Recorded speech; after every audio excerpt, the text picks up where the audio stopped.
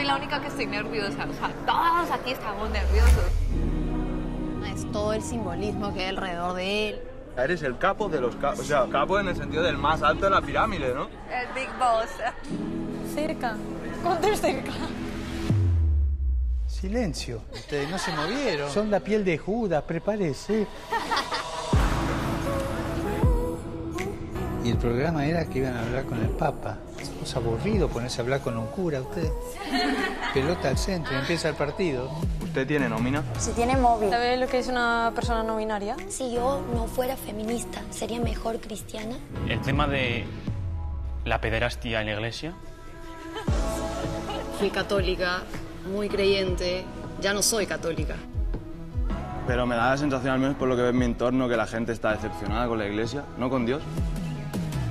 ¿A usted no le genera contradicción todo esto? La coherencia es lo que más nos cuesta a los cristianos.